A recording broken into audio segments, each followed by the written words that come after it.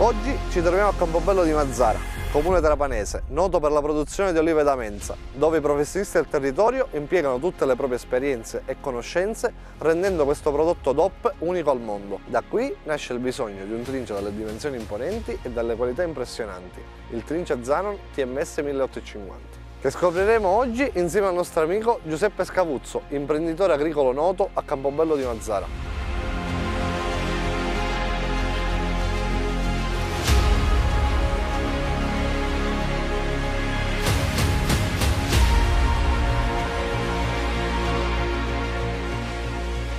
La TMS 1850 è una macchina studiata per essere applicata ad un trattore di media e alta potenza, dai 60 ai 110 cavalli, da almeno 27 quintali di peso.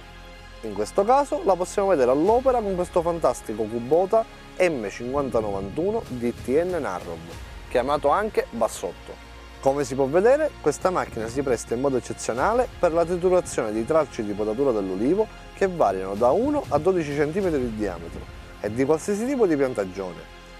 L'uliveto è un legno di natura molto duro e resistente ed ecco come con semplicità questa macchina riesce a triturarlo in piccoli pezzi. Il trincia è dotato di una robusta struttura in acciaio e di un rotore bilanciato elettronicamente, montato su cuscinetti autocentranti e perfettamente protetti. Una delle particolarità importanti di questa macchina è proprio la bocca anteriore, alta dal suolo 30 cm, che ne permette l'entrata di sarmenti in modo graduale e continuo, facendo sì che il trincia possa triturare tutto ciò che incontra, anche raggruppandolo in filiere sostanziosi come potete notare in questo video. La sua imponenza però non presenta un ostacolo per i movimenti che sono sempre agili senza impegnare troppo l'attenzione dell'operatore, dove in questo caso la macchina presenta una larghezza di taglio di 1,85 m e una larghezza totale di 2,05 m. Naturalmente la macchina viene fornita di serie con le slitte di appoggio, lo spostamento meccanico, ma è possibile aggiungere a richiesta lo spostamento idraulico o le ruote in ferro e in gomma,